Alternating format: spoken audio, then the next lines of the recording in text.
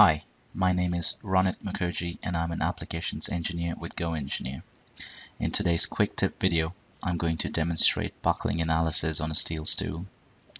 In this case, we would like to predict the mode of failure and approximate the highest magnitude load it can sustain without failing. In order to save some time, I have the setup all ready to go. The material assigned to this tool was AISI 304 steel and this was picked from the SOLIDWORKS library.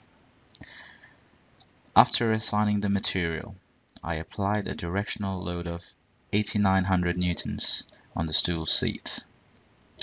The last thing I did in order to set up the simulation was to apply restraints on the stool so it doesn't move when loads are applied.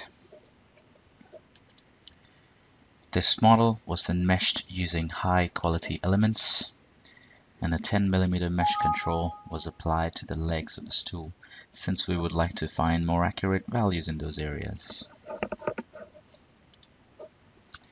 Once the analysis is completed running, we can toggle through different plots created such as von Mises, factor of safety, displacement, or the user can create their own plot as desired. This has been Ronit Mukherjee with GoEngineer. I hope you enjoyed the video.